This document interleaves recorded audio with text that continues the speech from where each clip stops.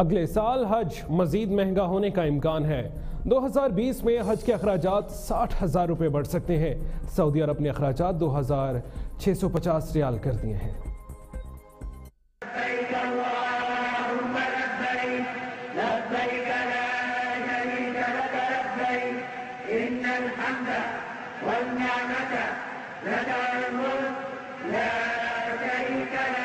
Saint کی ذیلی committee برائے مذہبی امور کے اجلاس میں بتایا گیا کہ حج دو ہزار بیس کے اخراجات گزشتہ سال سے زیادہ ہونے کا امکان ہے۔ حافظ عبدالکریم کی زیر صدارت ہونے والے اجلاس میں حج دو ہزار بیس کی مجوزہ پالیسی اور انتظامات پر سیکٹری مذہبی امور نے بریفنگ دی ہے۔ ان کا کہنا تھا کہ آئندہ سال حج اخراجات میں ساٹھ ہزار روپے اضافہ ہونے کا امکان ہے۔ سیکٹری مذہبی امور کا کہنا تھا کہ آئندہ سال سرکاری اسکیم کے تحت حج اخراجات چار لاکھ نواسی ہزار روپے ہونا متوقع ہیں جبکہ گزشتہ سال حج اخراجات چار لاکھ چھبیس ہزار روپے تھے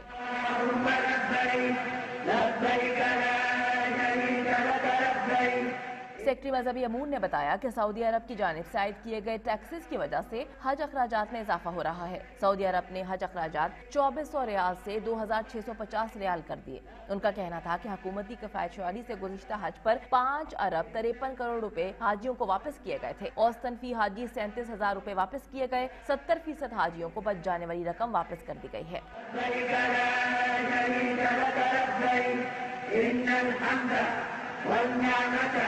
کمیٹی ممبران نے حج اخراجات میں اضافے پر شدید تشویش کا اظہار کرتے ہوئے کہا کہ سرکاری اسکیم کے حج اخراجات کم کیے جائیں اور اس اہم معاملے پر سعودی حکومت سے بات چیت کی جائے۔